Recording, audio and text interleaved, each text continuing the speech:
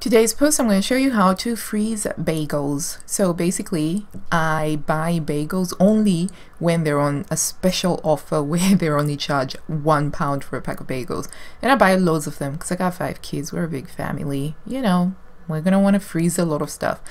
However, I found that in the past, bagels have a tendency to stick, and when you defrost them and then you cut into them, they are unpleasant. But I figured out this really quick little neat trick which you can use to freeze your bagels and you can take advantage of buying loads of bagels when they're on special offer.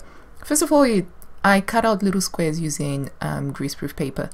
And you'll notice that my greaseproof paper looks used and that's because it is used. I try and reuse as many things as I possibly can. And what I do is I slice up the bagels. This is cinnamon and raisin, my favorite by the way. And I place a piece of baking parchment or greaseproof paper between every single half a bagel. And the idea is that whenever you feel like having a scrumptious bagel snack, you can just grab your half a bagel or two half bagels.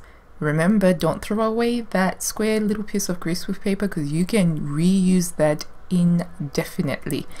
Then I put them back into the bag and I just put them in the freezer.